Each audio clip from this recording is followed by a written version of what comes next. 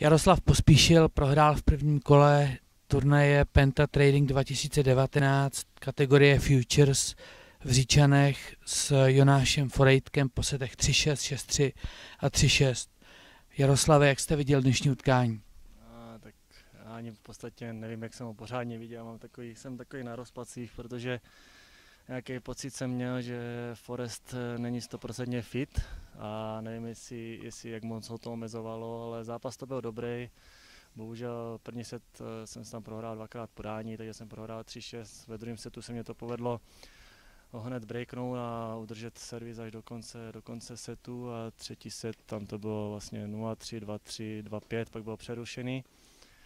Tam jsem ještě dobře zahrál, že jsem vlastně vyhrál servis s love gamem a měl jsem tři breakboly, bohužel tam dobře zaservíroval, já jsem zkazil return a už to dopadlo, takže to dopadlo 3-6. V tom rozhodujícím setu jste měl dvě takové hodně světlé momenty. První ze stavu 0-3 jste snížil na 2-3, druhý potom zmiňované tři breakboly. Který z těch momentů vás mrzí víc?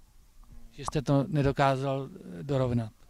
Tak oba dva v podstatě, protože jsem dal z 0-3 na 2-3 a měl jsem své podání a měl jsem tam 40-30 tuším, už ani nevím, co přesně jsem zahrál, ale ale tam to bylo taky, bych to na 30, tak to mohlo vypadat úplně jinak a samozřejmě to stavu 3-5, ty tři breakboly, tam vlastně dvakrát dobře zaservíroval a třetí, třetí jsem zkazil takový lehčí return, no. pak si ještě pomohl při zhodách uh, taky podáním a to v podstatě rozhodlo i celý zápas, že on líp servíroval než já. No.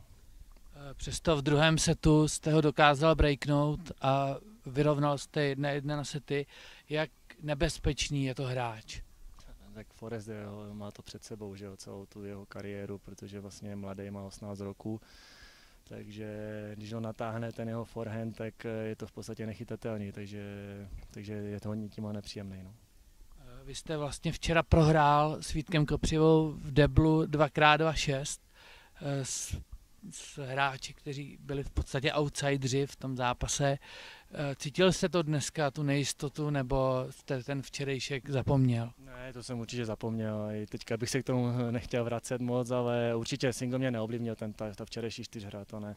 A jestli se mám vrátit k té včerejší čtyřhře, tak vlastně dostali jsme 2x2 ale těch šancí jsme měli v podstatě víc než soupeří a bohužel ty jsme neudělali a proto z toho byl takový debakl, jaký byl. No bylo to ke konci už trošku zmar, že jste vždycky měli vlastně uh, gamboly, potom přišel no ad a ten jste prakticky pravidelně prohráli. Přesně tak, jo, čím zápas plyne a prohráváte ty důležité balony, tak to máte čím dál víc v hlavě a, a my jsme se z toho nedostali, nedokázali dostat. No. Uh, Barnát s, s Rečkem uh, podali na své poměry velmi dobrý výkon, ale přece jenom nepodcenili jste je trochu. Ne, my jsme určitě nepodcenili, protože jsme věděli, do čeho jdeme, nebo takhle známe je trošku, takže věděli jsme, že jsou nepříjemní, takže možná to nás trošku svazovalo na začátku, ale, ale určitě o podcenění není, není řeč.